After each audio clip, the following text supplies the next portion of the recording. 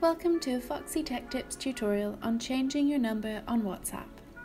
If you get a new number, it's possible to keep the same WhatsApp account but connect it to your new number. It will notify your contacts of the change. I'll show you how to do it. First, open up WhatsApp and then tap on the menu button at the top right hand corner of the screen. Now tap on Settings. From Settings, tap on Account. Now tap on Change Number.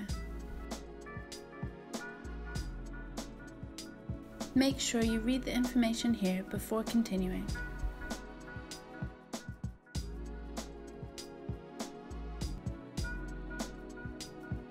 On the next page, you will now need to enter your old number and then enter your new number.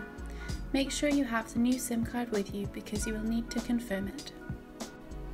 Tap on Next once you have added the numbers. On the next page, you will have the option of notifying your contacts that you have changed your number. You can choose to send it to all contacts, just contacts you have chats with, or custom, meaning you can choose which contacts get notified. Tap Done. You will now need to confirm your new phone number by receiving an SMS and entering the code into WhatsApp. Once you enter in the confirmation PIN, your WhatsApp account will be updated and merged to your new number. If you chose the option, your contacts will be notified. And that draws an end to this tutorial. Please like the video if you found it helpful and subscribe to Foxy Tech Tips for more WhatsApp tips and tricks.